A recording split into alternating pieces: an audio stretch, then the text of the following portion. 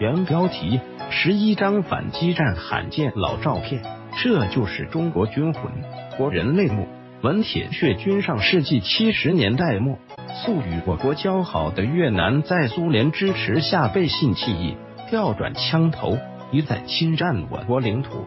一九七九年二月十七日凌晨，我军奋起还击，短时间内占领了越南北部二十多个重要城市。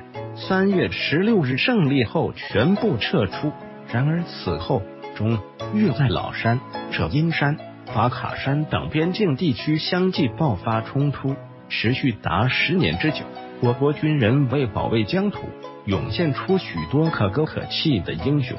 左图为一九八五年十二月五日，兰州军区陆军第四十七集团军参加两山轮战前，士兵杨月朝与未婚妻卢俏美在西安车站含泪惜别，此处一别。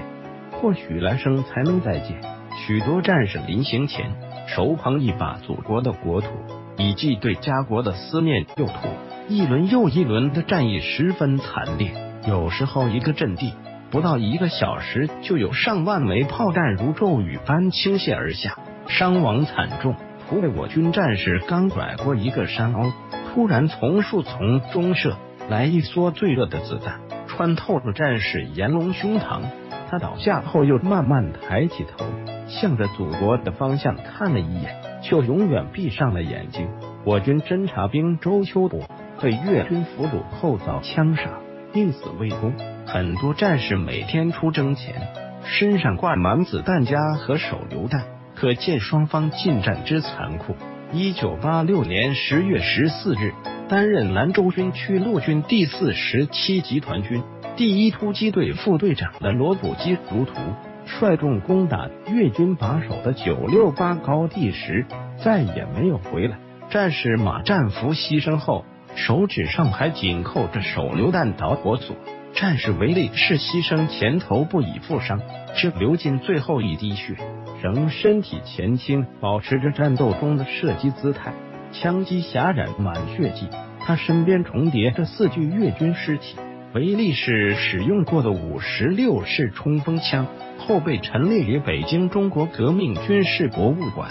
战争意味着青春和生命在瞬间终结凋亡，但在前线是每天的日常。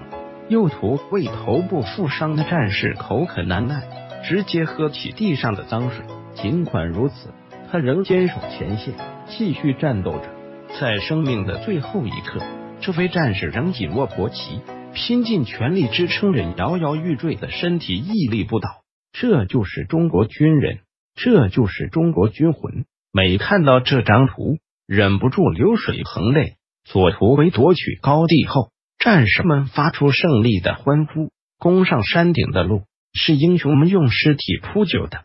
右图为战斗结束后，活着的战士被牺牲的战友回家。十年中越边境战争彰显了我国军威，最终维护了西南边疆稳定。